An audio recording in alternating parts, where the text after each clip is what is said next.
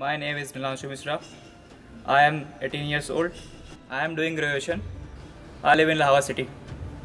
I am practicing since last 10 years. I practice 8 hours a day.